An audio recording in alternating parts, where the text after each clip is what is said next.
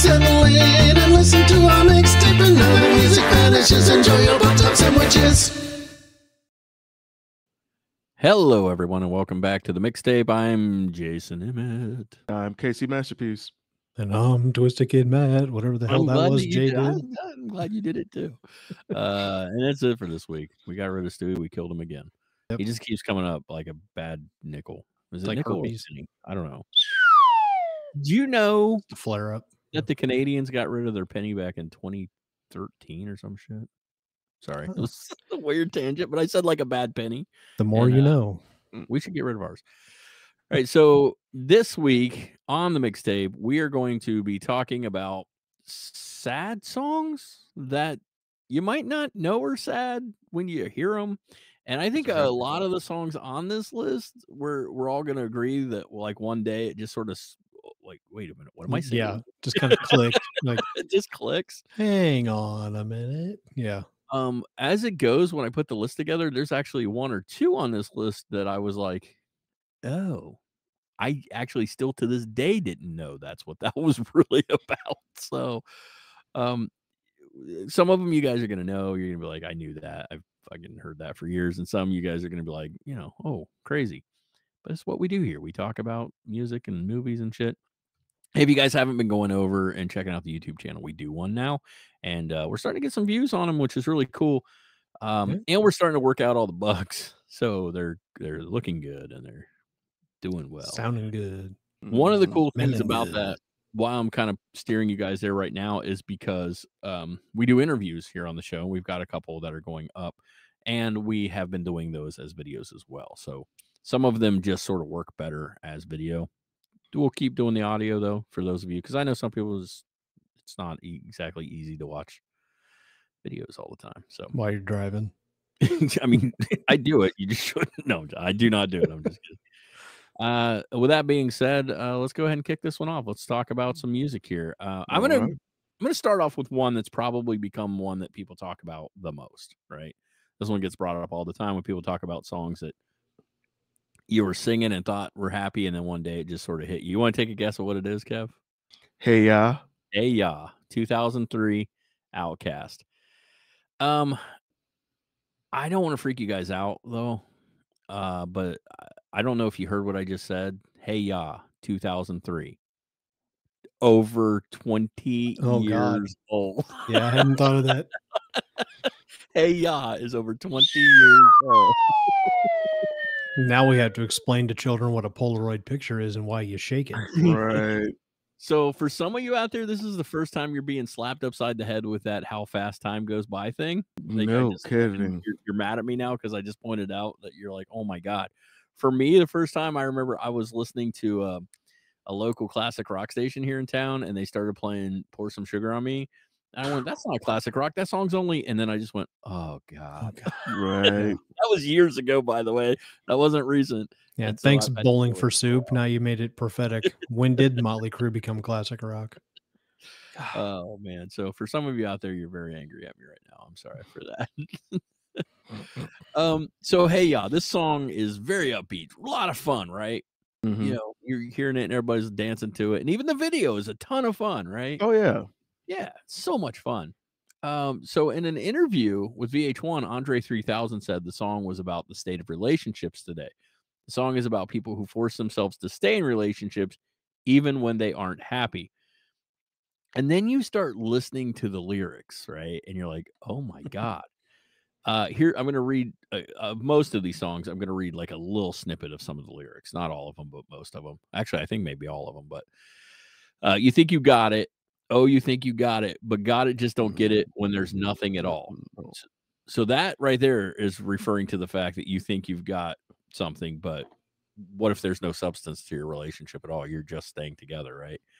We get together, oh, we get together, but separate's always better when there's feelings involved. if what they say is nothing is forever, then what makes what makes love the exception? So why you why you I'm not gonna read them all. I'm I'm Why- hearing this in Andre 3000's voice, by the way. Right. And it's just weird looking at you while you say it. Why mm-hmm. oh are we so in denial when you know we're not happy here? So it's basically saying I believe followed by if nothing if nothing is forever, then what makes love the exception to that? You think love is forever? It's not forever either. Why are we staying in this relationship when we're just not happy here? It's basically singing like it starts off singing about thank God to mom and dad for sticking food.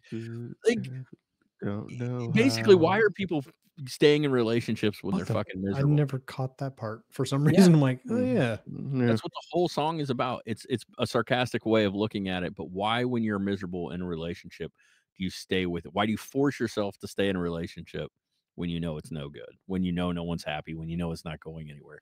That's what Hey Ya is about. And it's still a fun song, Yeah. but it's really not. mhm. And it's it make you a little sad.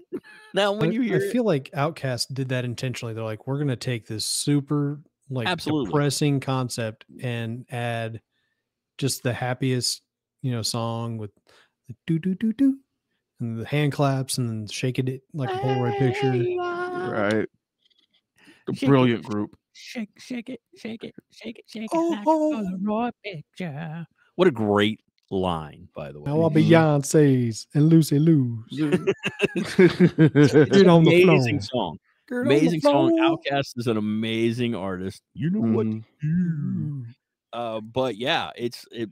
I remember hearing the song and thinking this is so catchy and upbeat. And I actually thought it was the opposite for a long time. I thought the song was him talking about thank you, mom and dad, for staying because you've made me the person I am today. And we've got all these. And then I started listening and I'm like, that's not what he's Like, saying. oh my god. you stayed together and made me a depressed, anxious person. Thanks.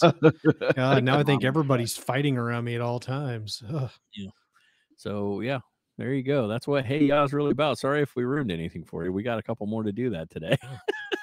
Because we're about to talk about a song from 1973 from one Mr. Elton John. This would be Crocodile Rock. Uh, you might know that this song is. I mean, overall, it's kind of a happy song, right? It's it's got that '50s throwback sound to it, right? It's that real doo woppy kind of thing.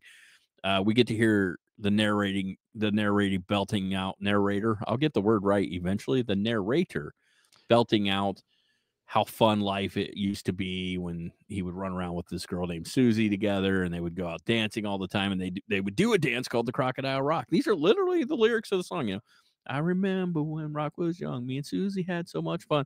What you find out by the end of the song, though, is he's lamenting about the past because he's really miserable now. Uh, because he clearly tells us that Susie took off on him. She left him for some foreign guy. His words. I I always picture this like sexy French guy with a sexy French accent, and you know, and he ran. Susie ran and went and left us for some foreign guy. Long nights crying by the record machine, dreaming of my Chevy and my old blue jeans. So this song is this guy lamenting about how the past used to be awesome, and now he's just a miserable schlub, like crying every night because this girl that he's obsessed over and these times that he obsesses over are like eating him up. And I think this song kind of speaks a lot of nostalgia. Mm. And I don't know, as you guys get older, do you guys find yourself suffering from like, God, I remember like the 90s when I was in high school or whatever, and like things that you actually miss or remember. And you look at the state of the world now and you're like, I just wish it, I felt like I did back then. I don't necessarily mean I want the world to be like it was. I want to feel like, Uh, like, like before social media existed. Mhm. well, before you knew Yeah. enough that Good times. shit- that shit bothered you. Yeah. Mm. As you get older, so much shit bothers you. All right. And it's like, I want to go back to when like my life was getting to hang out with my friends after work and movies were fun enough and we would just fucking go to the mall and eat in the food court and catch a movie and it was just really fun. And I wasn't caught up with all the bullshit that's that's around. right. time. And so to me, I find myself every once in a while, like while I'm sitting at the, at the office or something, thinking about shit and going, why can't it? Why, like literally, why can't it be like that now? I mean, I still have to work and pay bills, but I did that then, you know. So why can't it be like that now? And I think that's what the song's kind of doing. He's lamenting. He's going, why can't it be like it used to be? Mm. He's getting kind of caught up in it. So there you go, Crocodile Rock.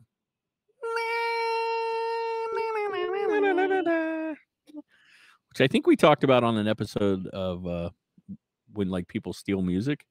Yes.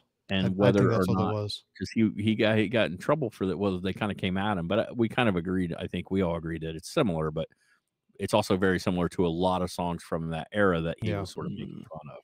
Well, not making fun of, but And I'll admit, I have never paid attention to the lyrics of the song. Yep. Like it, it's just one that just the you know I remember when Rock was young, when me and Susie had so much fun, much and fun. then after that, it's just gibberish to me. what is it? And Just like, I don't know what he's even Holding hand and skipping The rock stones. belt died. The rock something died. Susie went and left us for some foreign guy. Long nights crying by the record machine, dreaming of my Chevy and my old blue jeans. Yeah. Never Yep. paid attention to it. Yep. Hmm. Because Susie just fucking ran off, man, with some sexy French guy. Yeah, I'm Gerard French. Depardieu shows up and Can't you tell by my ridiculous accent? how far in your general direction. I wave my private parts at your aunties. you're, you're welcome, everybody.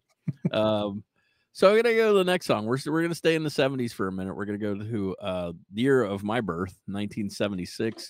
Very famous, very famous theatrical uh, band from the 70s and 80s. Cav, you want to guess who this band is? Very famous theatrical. I'm Yeah. gonna guess Queen. No, No. More theatrical. more theatrical than that. They like to put on a show, that's for sure. Kiss. You kiss. Yep. All We're going to talk about Detroit Rock City by Kiss. I never knew that this was a depressing song. Did you guys? I had no clue. It's another one I didn't pay attention. Just, sounds just like a song about a guy going, "Yeah, cars and chicks, man." Well, then they then they made the movie yeah. Detroit Rock City about the kids trying to get to the Kiss concert, which was a decent movie, you know. So this is off their Destroyer album. Uh, very again, very very fast paced, upbeat, very rock song, right? Um, all that's on the surface though, because the bummer of the whole thing is, you know, well, let's be honest, the song is all those things till the end. The, the whole song is kind of upbeat and fun till the end. At the end of the song, we find out he's okay. Let me let me break this down. He's been telling the story in the song of a fan, right? A, a fan that is excited to go to a Kiss, Kiss concert. But when we get to the end of the song, what we find out is the fan gets killed in a car accident on his way to the concert. Yeah, that's what the song is actually about. A dude that's excited to go to a concert to the whole thing. you just kind of broke my brain a little bit because I know of a cover song which I'll bring up in a little while because I know of another band on this list. There, they added car crash sound effects in the background of the cover version. Really. Yeah, it's kind of fucked sense. up now that I think about it. Okay, cool. Carry So- on. Paul Stanley wrote this, right? And I, I'm I want to tell you this is based on actual events. So what Paul Paul Stanley and how he felt after he heard about it, and what he said about it was there had been an accident outside of an arena in Charlotte, so it's not Detroit, but he switched it out for Detroit because worked in the song. Said Hmm. someone was killed coming to the concert. I thought how odd and how striking, and the juxtaposition of someone coming to a Kiss concert, which celebrates being alive, only to lose your life. That was the twist of Detroit Rock City to change it from a song about your amazing city to something much more epic. So, a kid was was I, I don't know if they got in a car wreck or what outside one of the concert venues, but it hit Paul Stanley when he heard about it that it was like that's just so wild to think of and and I can think of personal stuff I won't talk about here on the show, but where it's very similar. Where in his eyes it's like we're going to do something that should be fun or exciting and you've you're probably build up to it and then that's that's the last night of your life. You don't even get to see it. You're on your way to it and it's just over. And I'm like, man, that makes the song so depressing. And the last line, like one of the last lines is talking about him seeing the headlights of a truck coming at him and he knows he's gonna die. That's like one of the last songs. And Detroit Rock City is a very upbeat song, you know. Get up, get out, Detroit Rocks. You know, it's it's very you know, yeah. So now it's gonna be depressing anytime I hear Detroit Rock City. Yeah, I'm gonna have to actually listen to that later on. And to tell you what, we haven't done this in a while. Uh, I think I might have to make a, a playlist for this one for this episode. Yeah, Yeah, we haven't done one in a while. So I will say this for for the video side of things, you probably will not hear music, um, and for the audio side, there it- I will probably be in the background. uh, moving forward. But we don't put it on the video because, well, they'll take that shit down really Mhm. fast. So we don't. real fast. So like if you're before you can on post it. Yeah, yeah, yeah. Uh, Sometimes I feel like they knew. Yeah, they're trying to get it up there. All right, so we're gonna leave the '70s now. and We're gonna move into the '90s. For the next two songs, we're actually in the same year. We are moving to 1997, and the first song we're gonna be talking about is by a band called Third Eye Blind. And if you don't know already, that song is "Semi Charmed Life." And if you don't know already, this song is not a happy song either, although it sounds like it. Uh, I think most of Anytime you put do do do do do do do, it's gonna sound happy. Mm. and there are lines in it that sound that way. Like, oh, he's singing about something happy, but you got to start listening to the lines underneath those lines. Mhm. It's very crazy. I think most of us can recall that that love this song can recall the day that it smacked us in the face what they were actually singing about. Like this is one of those you're sitting there like, do do do. Wait a minute, what did he? Just, wait a minute, what? what did he just say? Did he just say doing crystal meth will lift you up until you break? Yeah, absolutely did. Oh my god. He also Yeah. said face down on the mattress. Um, so some of it's fun. Were they alive at the time? Uh, yeah, I haven't paid attention to this Oh, song too much either. Way worse. So Matt's right. This song is about a drug user who is slipping further and further into meth addiction. Mm. Uh, frontman Stephan Jenkins said, "When I wrote Semi Charm Life, the guitar riff was intended to have this shiny thing because that was a feeling of speed. It's sort of a bright, shiny drug, and we all were sort of into hip hop, and so it was a hip hop flow over it." He said the song is about falling apart and the drug induced high that makes everything fleetingly feel better. The sky was gold, it was rose. I was taking sips of it through my nose. Some of the lyrics. Oh. And I, oh. and I wish I could get back there someplace back there, smiling in the pictures you would take. Doing crystal meth will lift you up until you break. It won't stop. I won't come down. I keep stock with the tick-tock rhythm, a bump for the drop, and then I bump up. I took the hit and I was given, then I bump again, then I bump again. In case you guys don't know, a bump is literally when you take a hit of something. Mm. Um, I've like cocaine. If you take a bump, Yeah, take a snort. Yeah. so this song is absolutely about addiction to crystal meth. Yeah, and how it it makes you feel good, but it's all bullshit and it's fleeting. But how that's why when he says I wish I could get back there someplace back there. Like I think it's kind of like chasing the dragon, right? Mm. Um this is a term I think most people have heard. I wonder if mo- if people know what that term means though. Like chasing the dragon basically refers to the first time like I've heard it. I've never done cocaine. Matt, is it is it good? That's like, Do you know. like it? Do you like the way it smells? What the hell up? I've never... That's like Matt. You can't just shake. I'm your the head. most boring person He's ever. never- I've never even smoked think- a cigarette. I don't think any of us uh, right here have Yeah. ever tried any heavy Cocaine. I drank, Yeah. but that's about it. Now I'm just hooked on coffee. Um, so the thing about it, from what I hear, from what I gather, is the first time you do cocaine, it's supposed to be mind blowing. Like, oh my god, it's like the best feeling ever. Eh, But from what I've heard after that is you spend every time after that trying to hit that first time, but it slowly gets less and less. But you're chasing the dragon. You're hoping that eventually it'll feel like that again. It never does. I assume meth is probably the same way. I've never tried Mhm. crystal meth either. But it's really crazy to think that semi-charmed life is about meth addiction. Just fucking mind-blowing stuff. Yeah, this is their biggest hit too. yeah, by far. And it's a great song. And they took the hit that they were given, And, then they bumped again. and they bumped again. Uh, I was listening to this song yesterday. It's on a couple of my playlists. It's Like, catchy as hell. it's a great song. I'm pretty um, sure it's on a past playlist we've done. I'll be honest, a couple of the songs we're going to talk about, though, it's like once I knew what they were about there. This one isn't hard for me to listen to, I, even knowing that. But Yeah, like still Detroit Rock song. City and one we're going to get to here towards the end, it makes them kind of creepy. like this is like I don't know if I want to listen to this anymore, but I still do, so it's all good. Uh, I have a feeling this next band is somebody Matt was probably really into. Shaking his Absolutely. He knows who it is. We're we are now talking about the 1997 song "The Impression That I Get" by the Mighty Mighty Bosstones. And they finally get brought up on this show. Yeah, I know Matt was a, a big fan of ska in general, and this. Can you tell? Could you tell that I was a ska kid in the nineties? I've Um, definitely picked it up and hupped hupped a few times in my life, and have skanked in some pits on occasion. it up, up, up. I love it so much.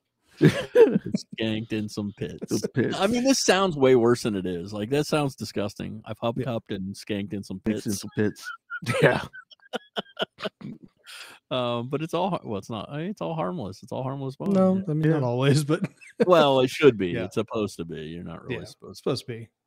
But uh, Mighty Mighty Bosstones. This was probably their only like hit as far as it goes. I mean, the band had some great Probably their stuff, biggest. Yeah. but this was probably the well, probably the one that hit radio. Yeah, Yeah. it's a great song. The impression that I get, um, I actually didn't know. I, it makes sense when I go back and listen to it now, and it, I don't. I wouldn't say this makes the song overly depressing or anything. So it's not really still that sad. It's just sort of his opinion on some things. A lot of people believe that the true meaning of the song is about is regarding HIV, and more importantly, a man who finds out his friend has HIV, and he himself is too scared to be tested for it. Oh, Mm. Um, never looked at it that way, but all right. can't Yeah. say that definitively if that's true or not, but I can say that vocalist uh, Dickie Bar- Barrett has gone on record to say that the song was more about being tested in life in general. That's yeah, that's kind of what I thought it was. Yeah, he said it's basically how he has seen so many people around him get get hit with bullshit. Yeah. And he himself has never had to deal with that bullshit. Yeah. And he doesn't really know if he could handle it or not, but he thinks he can. Yeah. In other words, I'm not a coward. I've just never been tested. But if I did it, if I did, I think I would pass. If I did, I think Yeah. if, if I'd like to think that if. I did, I would pass. Yeah. Hmm.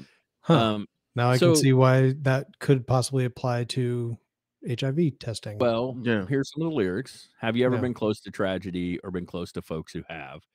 Have you As ever felt the pain so the powerful. Yeah. so heavy you collapse? No. Well, I'm and you know, well, I'm not a coward. I've just never been tested. I'd like to think that if I was, I would pass.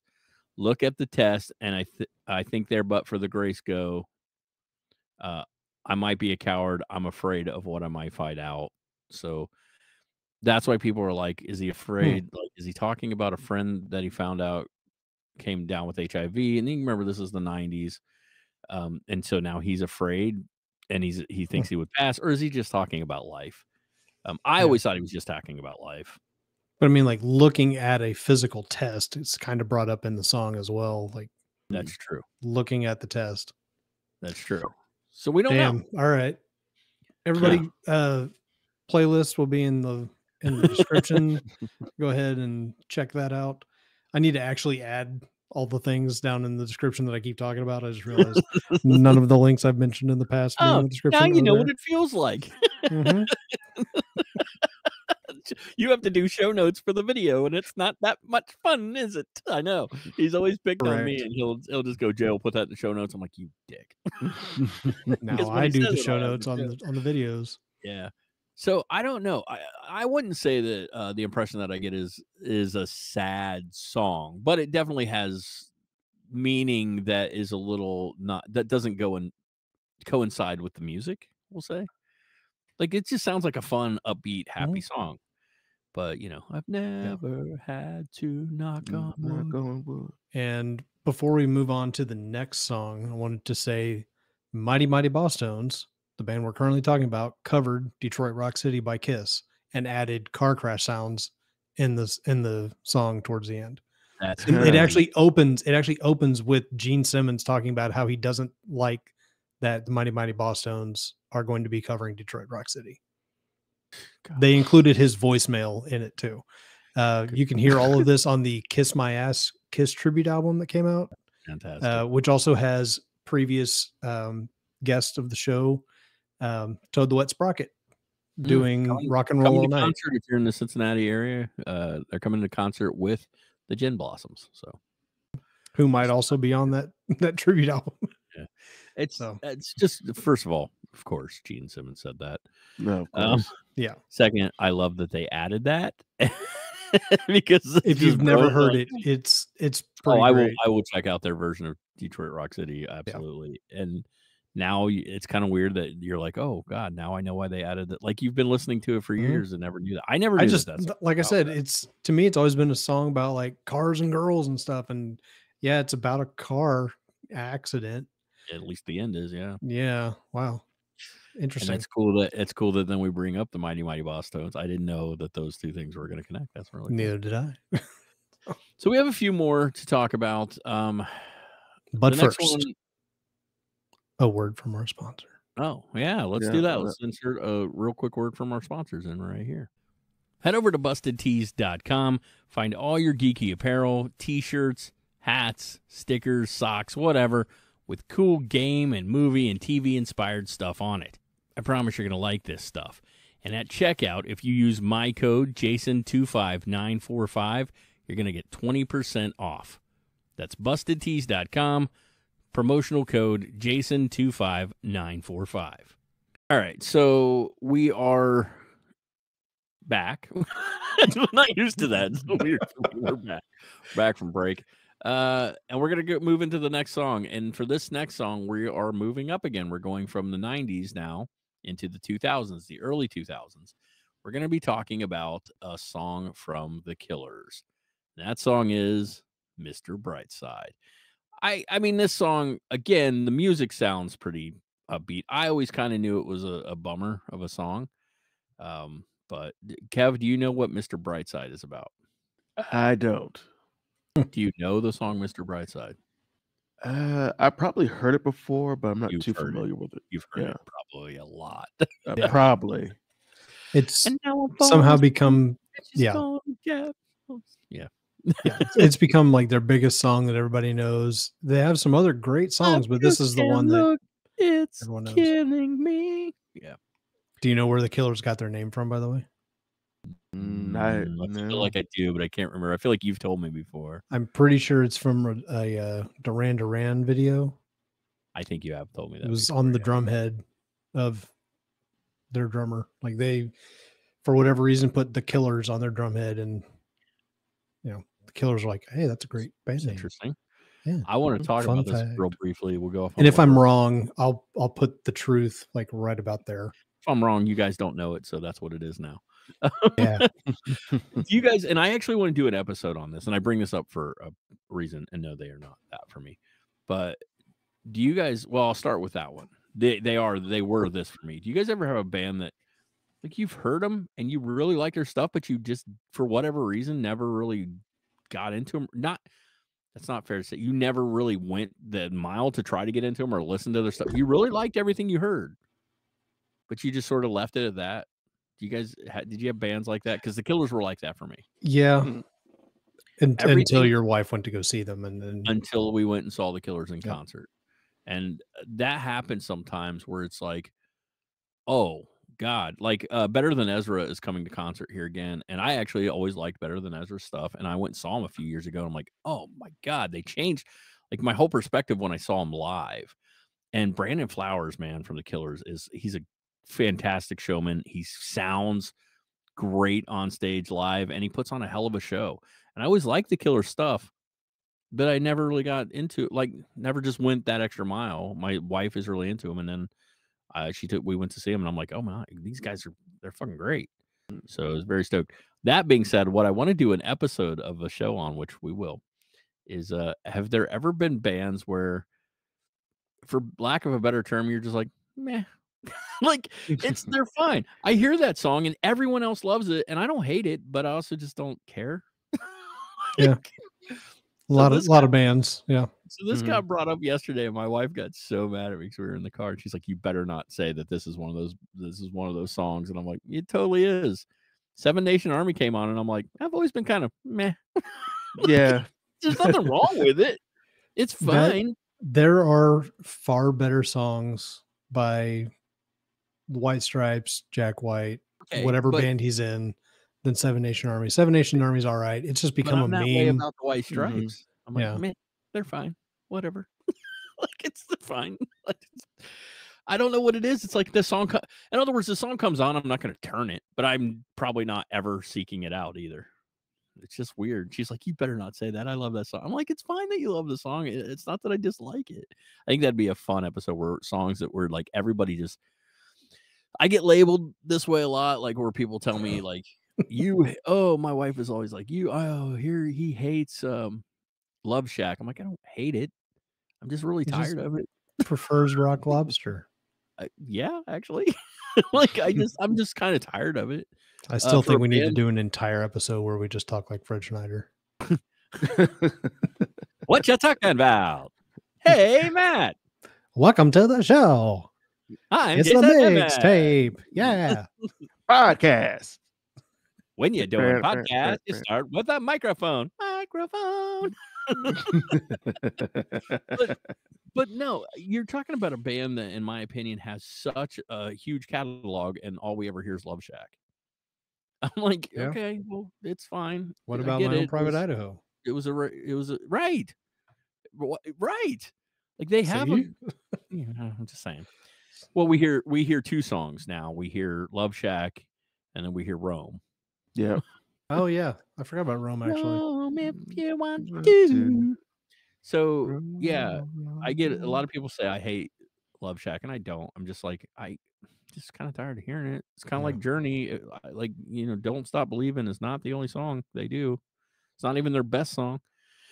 Um, but we're not talking about that. We're talking about the Killers and Mr. Brightside from 2004. Again, on the surface, the music very poppy. You know, kind of fu- sounds fun. I've seen a ton of people out there belting out the song and dancing to it. You know, kind of like it was up in my mind. You know, they're, they're going. I, I just made up words; those weren't real. It was up in my mind, not a fucking lyric in the Yeah, song. he was avoiding copyright. That's what he was doing. but the lyrics are a little more disturbing than that if you really listen. And I don't think this song hides it so much, but I just don't think people are paying attention. And there's actually some reasoning behind it for this song. Um, this song is actually about Brandon Flowers himself and a true story that happened to him, part of it, and about the jealousy, the complete jealousy he felt, and then later the paranoia he began to feel towards just relationships in general after he went to sleep one night, he was in Vegas and he goes to bed and he's he's like, I wake up, I- I just had a feeling that something wasn't right. And I get up, my girlfriend's gone. And I go down to the bar and he he catches her cheating on him with an with another dude. And like kissing and stuff like that. And I think what this song really does is it captures how our minds, if you've ever been cheated on, which uh most definitely have, um, we've got Matt raising a hand down there as well. Kevin, have you ever been cheated on? uh, Even in chess. oh yeah, chess definitely. No, just fucking special. It's like, nah, girls don't It's cheat like, on me. nah, man. He's I'm like, all about that whole life. They know, they know better than to cheat on the KC masterpiece. yeah. See, he spells it master P E A C E, but sometimes it's the master P I E Yeah. The masterpiece. It Uh, sounds well, better than Master Peen, so yeah. the masterpiece. Uh, well, here's the thing about being cheated on. One of the things it really does to you is it gets in your brain, and you don't have you you rarely have details, but your brain starts making details up. Your mind can't take the situation, and it starts building it up and, to, and creating these images and scenarios in your head that, if you're not careful, will kind of drive you insane. You can't it's like you don't even know what happened, but your brain starts telling you what happened. And the lyrics of the song really get that across well. I mean, he caught her in a bar kissing a dude, right? He didn't, there was nothing else for him. But that the song, okay, so the lyrics are now I'm falling asleep and she's calling a cab while he's having a smoke and she's taking a drag. Now they're going to bed and my stomach feels sick and it's all in my head, but she's touching his chest now. He takes We all know what he wanted to say. now. hmm Now she's touching his, he's but she's touching his chest now. He's ta- he takes off her dress now. Let me go. I just can't look. It's killing me and taking control. He didn't see any of that stuff. He didn't see her going to bed with him. He didn't see her ta- him taking off her dress and her touching his chest. Um, but like you said, I just I can't I just can't look. It's killing me and it's taking control. I, I can't get it out of my head that this is what happened. And this song does a really good job of capturing that paranoia of like, yeah, I can't. This is all I can see now. That's all I can think about. And uh, I, when people like get cheated on, they stay together. It's very like wow, because like I know your brain is eating eating at you all the time, and like how, and that's the the the sarcasm of the song is, I'm Mr. Brightside. Like, oh, all this is going on in my head. Don't worry, I got it though. I'm Mr. Brightside. I'll look at the bright side of things. But he really can't. He can't do it. That's the problem. This is a great song, great lyrics. Like to me, this really captures that feeling. So I don't know, Matt. Was it like that for you? Like when you got cheated on, did you like play scenarios in your head and like couldn't it just ate at you and ate at you? He's like, no, nah. I was like, fuck you, bitch. No, no. it was pretty clear what happened. so well, it was, there was clear no what- oh, imagination. Oh, well, no, well, well, not much imagination. it was not clear what happened to uh, to me. Um, but uh, yeah, like I didn't want details. I wanted no details. I'm like, I don't want details. No, I just left when it happened. I was like, nope, I'm done. So That was smart. Yeah. I didn't do that. I I eventually did. You know what? I'm not going to talk about it, but I'm. It, it, it turned out to be there was a blessing in there, so we're going to leave it at that. Uh, There you go. but yeah, it does mess with you really bad. And even, but even then, dude, you got to admit somewhere down there, even if it shouldn't, even though part of you knows, like, no, this person's just horrible, just a horrible person. It had nothing to do with me. Part of you still feels pain. Like my pride took a little hit. Like, or does it have something to do with me? Even if it didn't, it's hard not to think those thoughts. It's hard not to get caught up in shit. So I love the lyrics of the song. I always have. Um, but this is another one of the songs that even though I was singing it in my car or whatever, one day I started really listening to what I was. See, I think that's important. You will sing it and not listen to what you're singing, and Yep. then one day you do. And you're like, Ah. oh, yeah. Sometimes you got to pull over and go, what the hell have I been singing this whole time? Matt's literally like driving down the street. He's like, "Oh, I got to pull the fuck over." Like- hey, yeah, is about what? Hang on. Hang on, you see, you you see Matt sitting at the Ugh. side of the road going, "No, no." People stop. You, you need help? You got any car trouble? No, man. Yep. Some real deep lyrics just came on I'm the listening radio. to Hey Ya, and they're like, "Oh shit." they give him a hug. Mind blown. Yeah. The cops are as hell. called. Yeah. Like Um, OutKast really messed him up that day. Yeah. If somebody's gonna do it, it's gonna be OutKast, right? Like hmm Probably. piss Somebody called Miss. Jackson. Yeah. Yeah. Simon Jackson. Um, so we're gonna go to the 80s now, and I'm gonna say this next one's kind of a cheat. We have two more songs to talk about. This next one's a little bit of a cheat because it's not really a sad song. It's just a very goofy sounding song that's actually about something a little more serious, but it actually ends on a very happy note. We're gonna be talking about the Clash, 1982, Rock the Casbah. Or Um, lock the cash box for you folks who can't understand in the cat box. Um this song reached number eight on the billboard hot 100 it was like one of the only uh, one of the clash's only songs to like get that high which is weird because Great band. you would think like should i stay or should i go would have been a bigger hit. Now it that might in more recent days have turned Yeah, around maybe. because it was on Stranger Things. yeah i love i don't know i love that song but Like i like this song i love this band they're a great band um R.I.P. Joe Strummer. so if you know you know or and if you don't know I'm about to tell you. the song sounds fun enough. Uh, although he sings with sort of a slur and a little bit of an like his voice in the song is very like slurry, like he's doing it on purpose. And there's a little bit of an intentional accent on certain words in the song. Like Sheriff, don't like it. Dun, dun, dun. Lock the cash box. Lock the cash box. Rock the Casbah, folks. Um, so do you guys know what the Casbah is before we move on? It seems like a Mm. Kevin thing to know. Uh, I want to say, um, let's see. We I want gotta say like a right bar, like in the Middle East, or No, it is in the Middle. East, but it's not a bar. Uh, I, I was like, if Kevin just gets this right out of his ass, I'm gonna be like, oh god, I give up. Kevin's just like, I'm gonna say it's probably this, and he would have been right, and I'd be like, oh, of course he got this right. uh, the Casbah is a fortress in the Middle East. Um, it's just a fortress. Ah. It's there, yeah. Uh, so the song Also itself a- is a burger stand in Lawrence, Kansas, but sure. The Casbah. Yeah.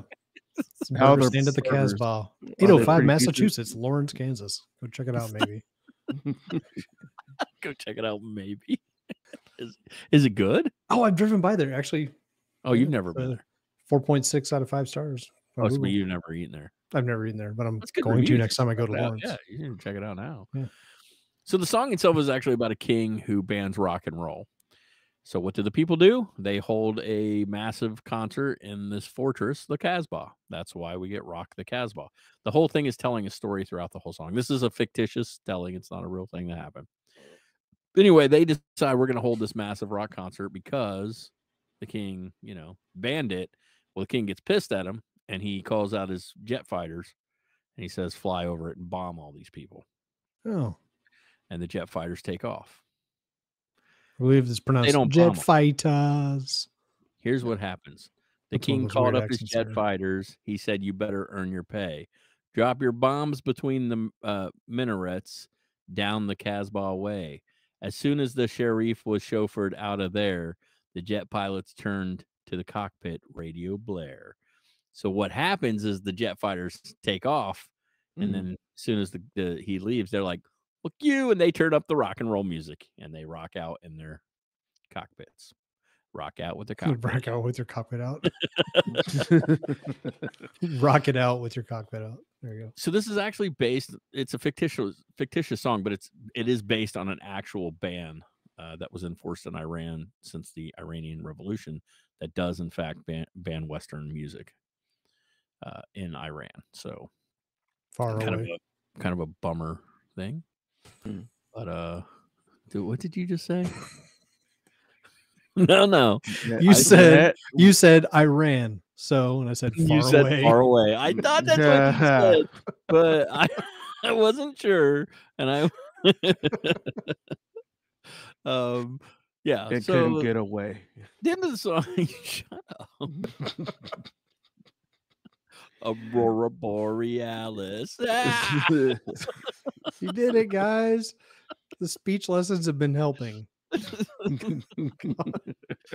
um, so Rock the Casbah is not actually a sad song in the end. They they win, but it is sad to know that there's a, an entire freaking country that bans Western music just Good keep away stuff. from people. Yeah. Well, there's a reason they do that, though. These countries who ban stuff like that do it because they don't want people to see outside of the bubble they've put them in. right. manipulate people when you do that. Yep. Which is weird because in North Korea, he loves American movies and basketball. Apparently, Dennis Rodman. Mhm. And I think Steven Seagal, maybe. I don't know. At Probably. least- Yeah. least that's what Steven Seagal tells us. The way he you know, runs. And he Come on, fights. like Kevin, do your do your Steven Seagal run. Uh, For those not watching video, I'm not sure what he just did. He just looks like it's like a run slash waddle. you yes. look like like a heavy set dude who just is fed up with running, so he's like hit the end of his run try. He's just like, ah, Yeah. forget it. You look like when I'm running, basically, is what he's saying. Yeah. I I want to see you run now. All right, we got we got one more song. song on this list. Um, this is a song that is really depressing. I caught on pretty quick that it was really depressing. Um, Mhm. I like the song a lot, but this song is and it was meant to be, just so we mm, clear about that. This one comes from 2010. This is a little band that I wrote their name wrong on my notes and says Foister the People, but the band is actually called Foster the People, and the song is Pumped Up Kicks. So this is Pumped Up Kicks by Foster the People or or Foister the People people peeper. I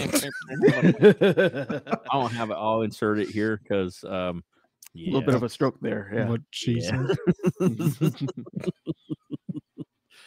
Uh, did Matt not have it either? Oh, you got you got. yeah, it's in the background. So Foister There the. Peoples, uh, pumped up kicks. So this one came out in 2010, like I said. Uh, this is a chipper sort of feeling song. Uh,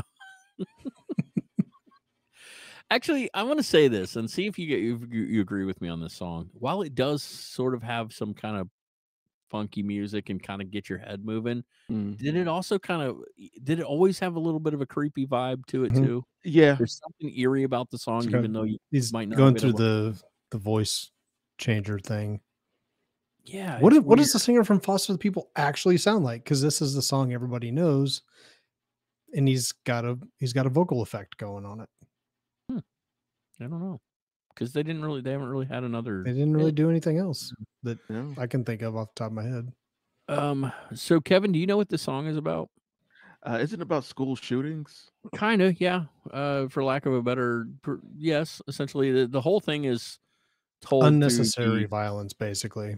the Mm. eyes of of one guy um, who's telling the the story. So, uh, written from the viewpoint of a guy who's suffering from mental instability and is having thoughts about shooting kids. Mark Foster from the band said, "I wrote Pumped Up Kicks when I began to read about the growing trend of teenage mental illness. I wanted to understand the psychology behind it because it was foreign to me. It was terrifying how mental illness among youth had skyrocketed in the last decade. I was scared to see where the pattern was heading if we didn't start changing the way we were bringing up the next generation. Um, so he's saying in the song that the the the narrator is jealous. He's jealous of his classmates. He's jealous of the things that he sees them wearing and the the things they have. And he basically says, um, "You better be able to outrun my gun because I'm going to shoot you and I'm going to take your stuff or your pew pew as it is. They're going to Careful now. and he's going to take the stuff. Do what? What I say? careful now. We gotta. Gotta Well, that's what Oh, the song's about. I YouTube. can't, I can't Yeah. help that, you know. But Yeah. the pumped up kicks do refer to something from the '90s. yeah, they that's what I was thinking. do. The pumps. So in Nike? '90s we had the Nike Reebok pumps? pump. Yeah, Reebok, yeah. And they, I don't know why, but they had a little Made you run faster, emblem, jump and you'd higher. reach down and s- s- s- pump it, and it would put air Mhm. somewhere in your shoe. I don't know. It was a weird trend. Uh, but that he is referring to that, and he's saying like basically, you better be. Are, are those shoes going to help you run fast enough to get away from me? You know, because I'm. Uh, it's it's really disturbing. Um, yeah, creepy AF. Yeah. As for the music being upbeat, uh, it's got a great beat. Foster Andy actually can dance to it. you're gonna Mhm. like this. You're gonna like why the music is the way it is. This is kind of fun. He said it's a fuck you song to hipsters in a way, but it's a song the hipsters are gonna want to dance to. And they did. It was intentional. My, how they danced. It was Mhm. intentional that it was that upbeat because he wanted the message to get across to certain people. Like, I want you to hear this because there is a problem in this country, and maybe you'll catch it. Maybe you'll listen to the lyrics and you'll be like, oh, that's interesting. Uh, so Jeffrey Berg of Frontier Psychiatrist um, actually came out and said some stuff about this too. And he said, I was so engrossed with the cheery melody of its chorus that it took me a few listens to to discover that the lyrics suggest tar- dark Columbine revenge. And that's what we were talking about. This song comes off as like kind of like doom, doom, doom, doom, and you're like, doom. yeah, Mhm. I feel it. I feel it. I feel it. And then you start listening and you're like, wait, what did he just say? did he say you better outrun my bullet? and he did. That's that's what he says.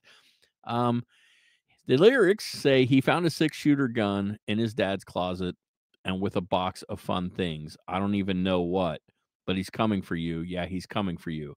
All the other kids with the pumped up kicks, you better run, better run, outrun my gun. All the other kids with the pumped up kicks, you better run, better run faster than my bullet. That is a depressing ass song. So yeah, it is 100% about what you thought it was about. Um, I think it's interesting and it's weird because this is 2010 and now we are in 2024, and we talk about this a lot on the show. How we'll, we'll discuss a certain song and say like, why is it becoming more relevant instead of less? Like, when is this going to stop? You know, when Mm.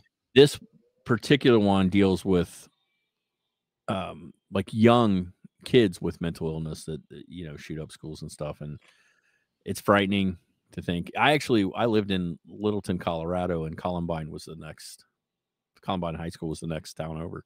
And my sister when she was in high school used to compete with columbine like the, the you know like sporting events and stuff. And i actually had a cousin that worked at columbine and uh she had actually left the year before Wow. She wasn't. Luckily, she wasn't there Yeah. when it all went down.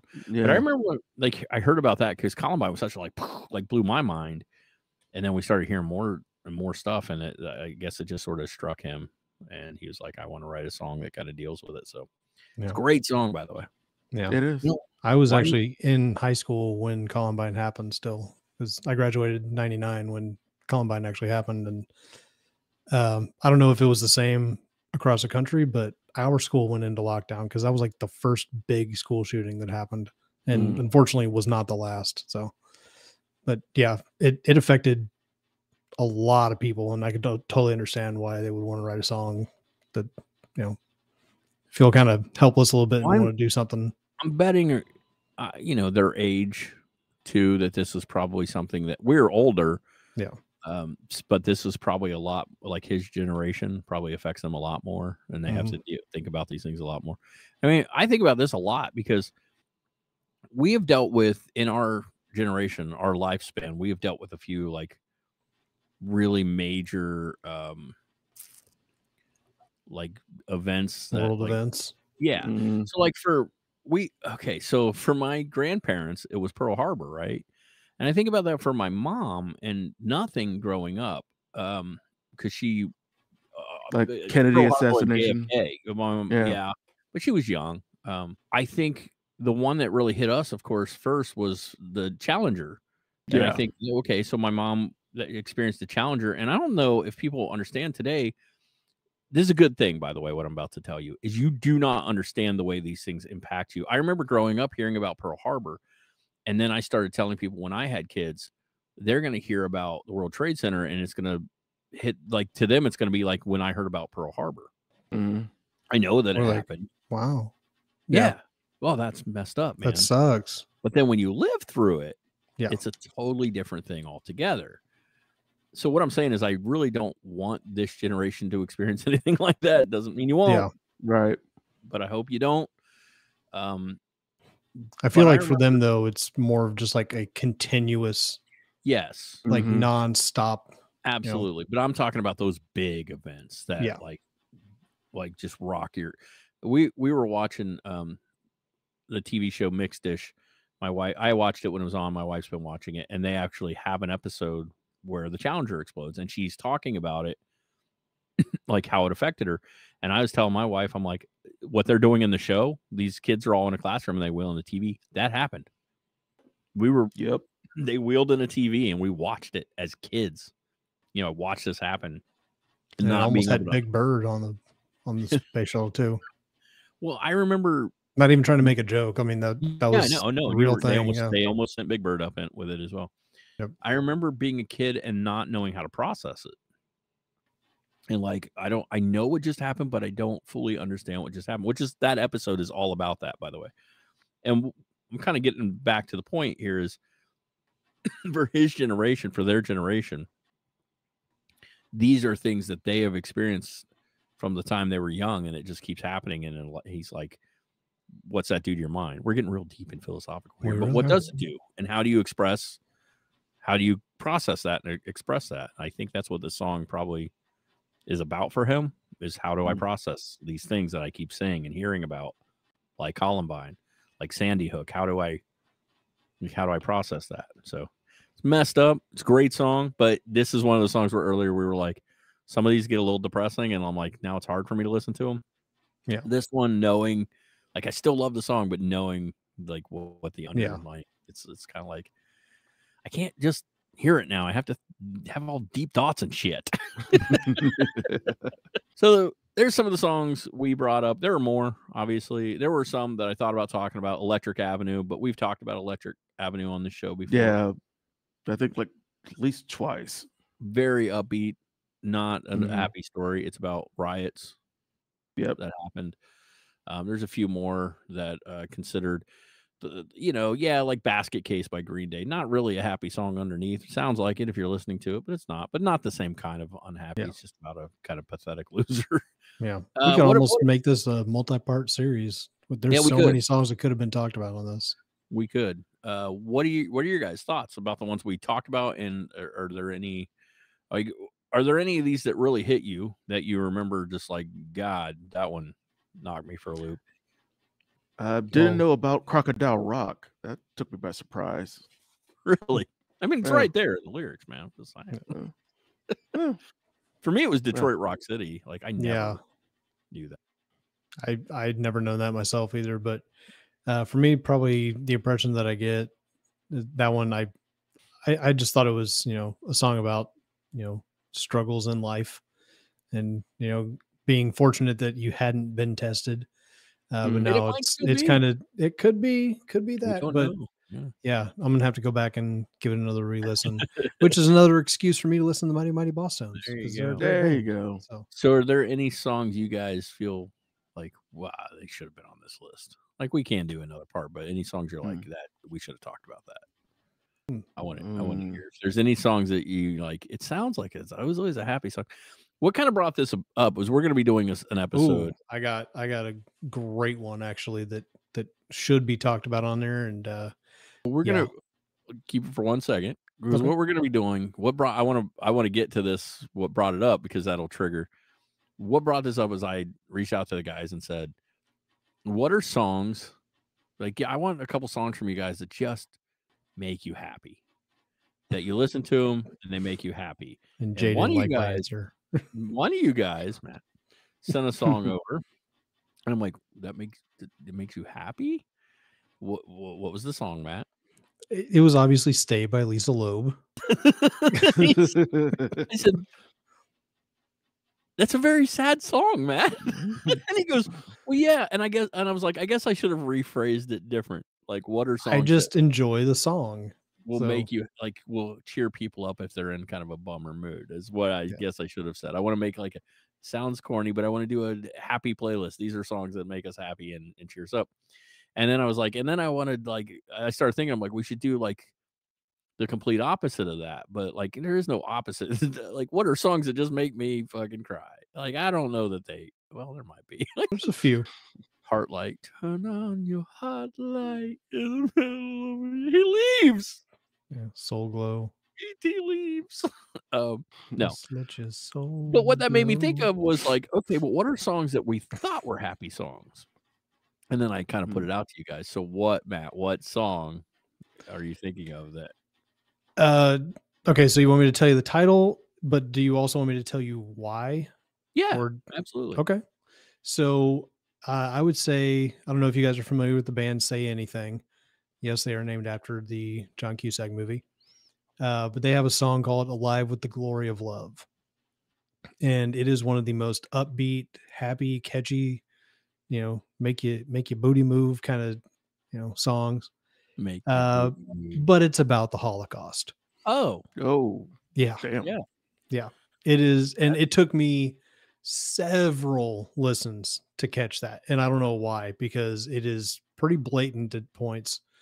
Um, but yeah, it's it's a very very dark song, but it does not sound like it in the slightest bit. So that that would be one of my my picks as a we'll call it an honorable mention for this what was the, episode. what's the name of the song? Alive with the glory of love.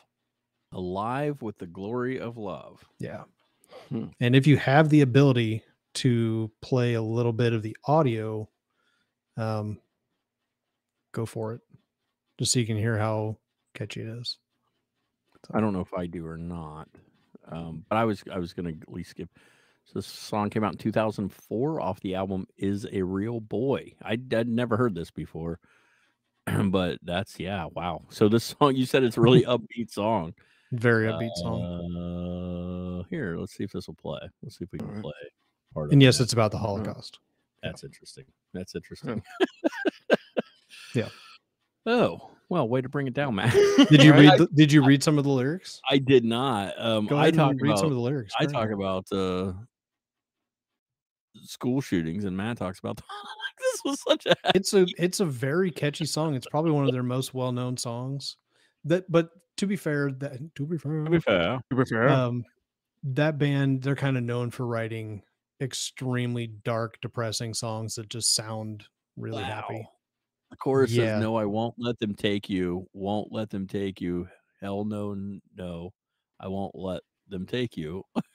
they literally talk And- about we got to be quiet so they don't find us in hiding And when our city, Jeez. vast and shitty, falls to the axis, they'll search the buildings, collect gold fillings, watch Wallets wallets, and and, rings. rings.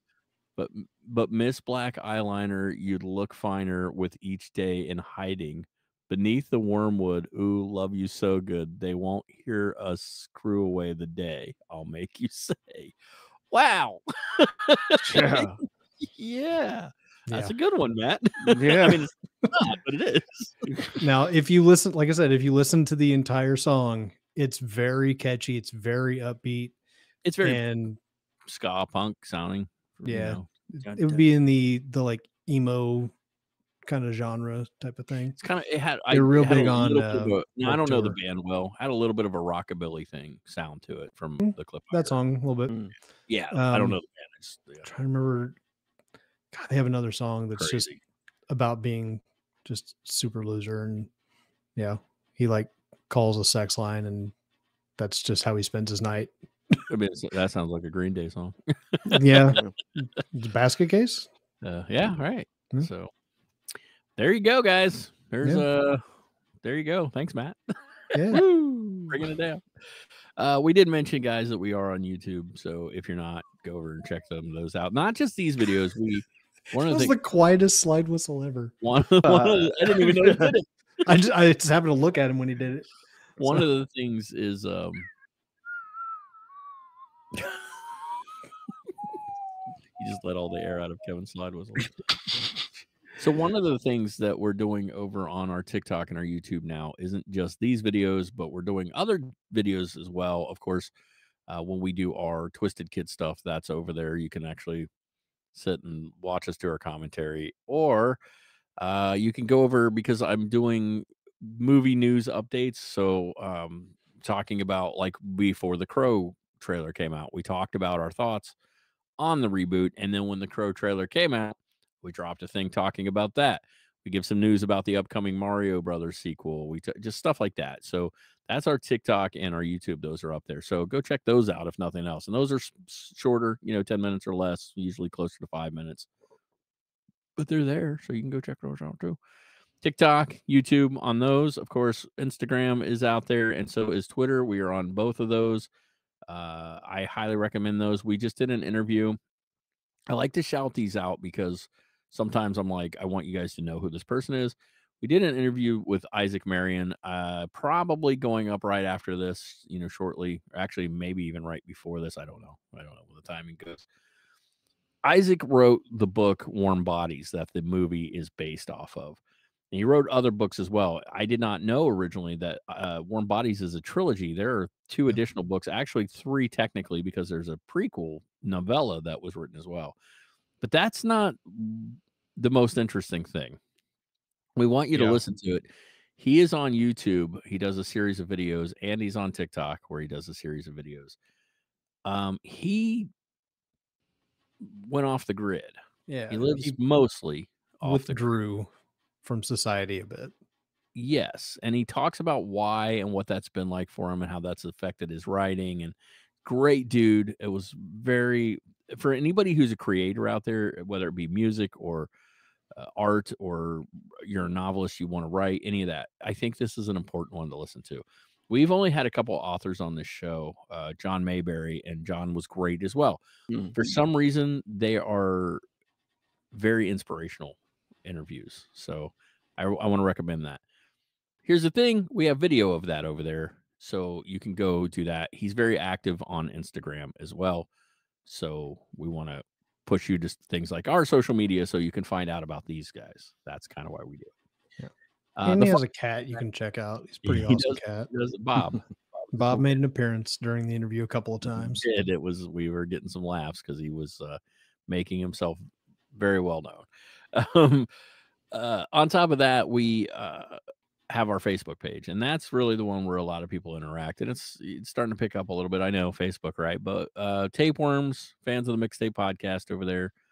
Uh, It'll all be scrolling across the screen right here. one of the things we do over there is we post a lot of upcoming concerts, tours, uh, events like toy shows or cons, and not just in our area. We will post anyone we see. So you can go over there and find a lot of that stuff and interact with a lot of the fans. We have a good time over there. So go check that out as well. We haven't talked about this stuff in a while, so I wanted to give a little shout out really quick. So yeah, go check all that stuff out. Um, I don't really have a lot else to add to this, guys. Is there anything you want to? I, I asked this and never is. But Yeah. I always, I already added, you know, Sure say is- anything alive with the glory of love. So it sure you. as I yeah, don't kind of brought things down a little bit there. sure as I don't ask you guys, are like, I wanted to talk mm-hmm. about it. And then they're gonna cry a lot. Yeah. Guys, you don't know what I put up with. Anybody outside. watch Royal Rumble from like 30 years ago? Anybody? no. Okay, real, real quick. Seriously, let's make this a two, three minute thing. I just got to ask you guys. no, serious. You said that. This is your fault. This is, we're going to take this back to the 80s really quick, but not All really. right. Jake Paul, Mike Tyson. Thoughts? Oh, he's gonna get Yeah. fucking destroyed. I fucking hope so. Have you heard? The, have you or seen the quote that's come out since? like, No. I think this was like yesterday. He said, "I'm going to put this to an end." Like he's Tyson did? he's yeah. He said, "I'm so- going to put this to an end." He goes, "I like him as a person, but these guys trying to challenge us old guys and go. then saying that we're Here's old, you're about Here's to learn." mistake. Yeah, You don't piss off Mike Tyson. yeah. He Nope. seems like He's really already nice bit a dude, dude's ear unless off you make him twice. fucking mad. And all I can say is I've watched both of their training. uh, Like by all accounts, whether you are a fan of the Logan guys or not, I know a lot of people hate them. He's good actually a really decent Mhm. boxer. Like he's actually pretty good. His record is showing that he's good. I've watched Is his he training Mike Tyson videos, good?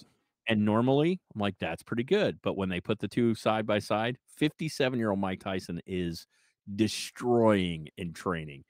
And Yeah. he's hitting so fast and so hard at 57. hmm And then they go over to Jake Paul, and I'm like, he's hitting hard and fast, but not even half. Nope. He gets clocked. He's no one of Tyson. Yeah, So he you know they might put some die. rules on it. They put some rules on it, right? He's allowed to wear headgear. Tyson's not. And he's allowed to uh, tag in his brother. Tag team boxing now? Okay, cool. I don't know how that What's he gonna do? like, just walk into a forest and film some shit he shouldn't be means, filming? like, okay, round- good job. If he uh, like, he can swap out in round two. Uh, Logan will get destroyed if he climbs in the ring with Mike. Though, here's what I want to happen, and I hope that happens. Jake Paul gets in the ring. They ring the bell. He walks up, one hit down. That's what I want to see. And we know it's I'm telling Tyson. you that It can happen. that So- quote. I mean, he Mike Tyson is out for blood. He he is trying, according to him, he's trying to get people to stop challenging guys they should not challenge. Stop doing it. It's Mm-mm. dumb. Yeah, It's an exhibition fight, but it's gonna make money. It's gonna make a lot, and that's why. yeah. I'm gonna That's why- watch it. why Jake Like- Paul does it. It it probably won't. I actually might watch long, it too watch because it. it's a Tyson fight. Honestly, boxing, I don't. I used to love to watch boxing, not so much anymore. But it's Tyson, and there's something a little different about that, right? Yeah, I I will say this though. I think everybody on screen right now Mm. is smart enough to never challenge Mike Tyson. I think I can beat like for Mike any reason. I see what you don't- did. Yeah, No, you- you okay, I- you for a second. No, that was just me in disgust. All right, so that's it. We went on a little Mike Tyson rant, but we're going to end this episode, guys. We always love having you here. Uh, please be part of the discussion. Let us know what your thoughts are on the Tyson fight, and let us know what your thoughts are on the songs we picked this week, and if there's any you would add to the list. Uh, I think that's all I got. We love you guys. Please come back next time when we will talk about something else. Until then, maybe nothing. We don't always talk about shit. Uh, you know what we should do one time? We should have a non-episode. the googly eyes, where we just The what Free we do thought, pre, yeah. what we do pre-roll. oh yeah, there's a lot of talk about explosive diarrhea when we do that. But we didn't need to bring that up, but okay. Matt and I once had a whole conversation about the time we shit our pants. It's a real thing. yep, that happened. So, how, and the uh, conversation ended with Jay going, "We should talk about this on the We show." I can was talk like, about this good." on the show. Let us need to. know out there if you would like us to do a non-show, which is just us for an hour of rolling and just talk about whatever bullshit with how we normally talk to one another. We will do that if you want. It'll be our show about nothing. It will be our show about. We'll call it the. Seinfeld episode. That would be misleading. True. People are like, they didn't talk about Seinfeld at all. We'll just come on like Seinfeld, What's right? the deal with Ovaltine? It's just us doing our impression Oh, of Jerry. airplane food. What's the deal with Ovaltine? It's not even oval.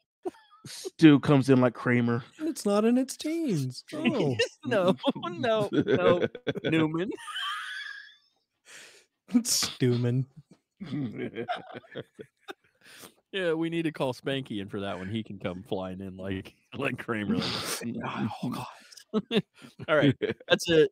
We love you guys. Until next, we have the opportunity to speak. Remember to always Stay Stay awesome. Stay awesome. Thank you for watching the mixtape. Don't forget to like, comment, and subscribe. Click the bell icon for notifications when new videos come out. And remember to always stay awesome.